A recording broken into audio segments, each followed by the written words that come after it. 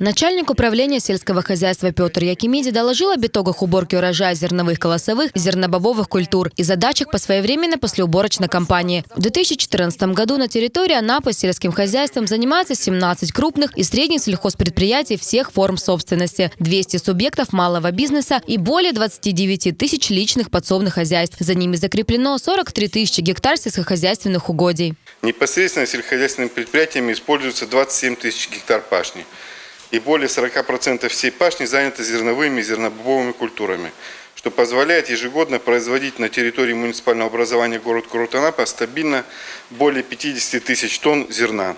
52 тысячи тонн в текущем году составил воловой сбор зерновых, а зима пшеницы собрано 46 тысяч тонн. Средняя урожайность составила 45 центнеров с гектара. Самые высокие показатели на уборке в агрофирме «Гастагая» в КФХ Николая Лазарева. Уборка урожая проводилась с помощью 41 зерноуборочного комбайна, в том числе работало 25 собственных комбайнов, принадлежащих сельскохозяйственным предприятиям и крестьянам. И 16 единиц зерноуборочной техники были привлечены со стороны. Также одновременно все предприятия проводили комплекс комплекс работ по своевременной уборке и измельчению соломы. Сегодня в сельхозпредприятиях ведется подготовка почвы под посев озимых культур урожая 2015 года. Для повышения плодородия в течение августа месяца было внесено в почву 10 тысяч тонн органических и 2 тысячи тонн минеральных удобрений. Данные мероприятия помогут досконально провести закладку будущего урожая и обеспечить динамичное развитие отрасли сельское хозяйство на ближайшую перспективу.